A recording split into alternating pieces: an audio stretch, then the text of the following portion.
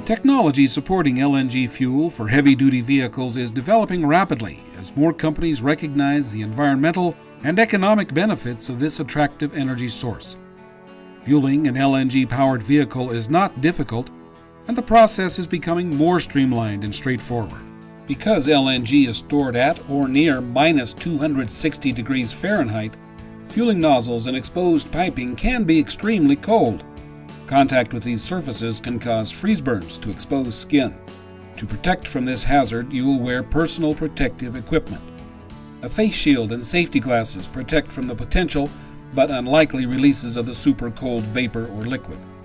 Thermally insulated gloves make it possible to handle the cold hoses and valves and a long sleeved shirt, long pants, and boots help protect the skin from accidental exposure.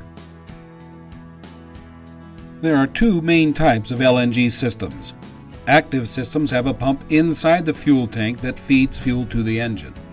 Passive systems use pressure to feed the fuel. Both store the fuel in insulated tanks, capable of keeping it in a liquid state for up to a week or more. The high pressure direct injection, or HPDI system, is one of the most common active LNG systems. It usually has a fuel tank on each side of the tractor, with fueling ports and pressure gauges for both tanks mounted on the driver's side tank. Taking a few precautions before you begin fueling helps ensure that the whole process goes smoothly. First, be sure the truck is parked close enough to the dispenser to avoid stretching or bending the fueling hose.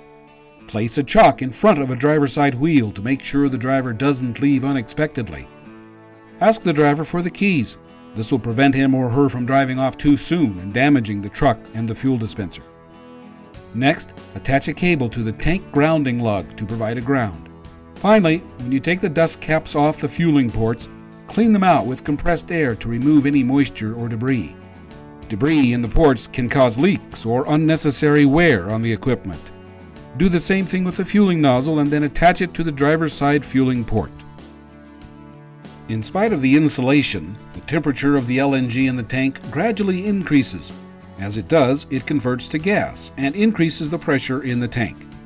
Check the pressure on the gauges on the fuel tank shroud.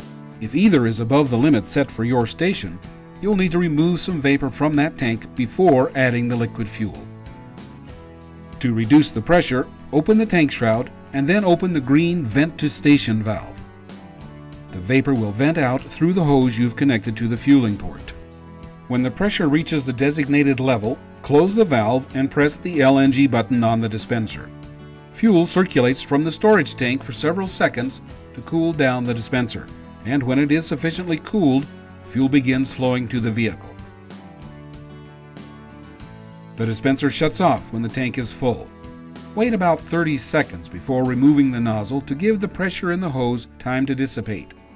Open the nozzle handle slowly to prevent damage to the seals. Next, attach the nozzle to the passenger side tank fueling port and follow the same steps to vent if necessary. Press the pause resume button to start filling the second tank. When it is full, return the fueling nozzle to its receptacle on the dispenser, reseat the protective caps, and complete the necessary paperwork.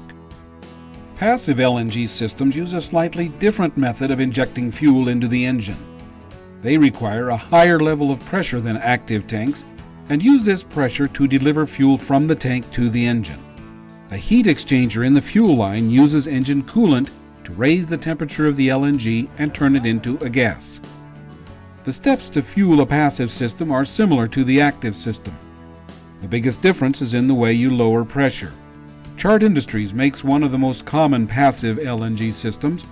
You can identify a chart tank by the venting port on top of the engine shroud.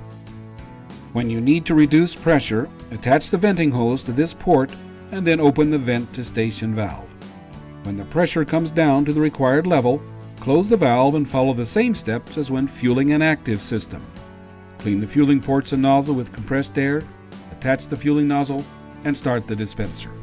When you finish, disconnect the grounding cable, remove the wheel chock, and give the receipt and the keys to the driver. Specific procedures and equipment can vary from station to station, but LNG fueling is safe and easy when you understand the requirements and follow the recommended precautions.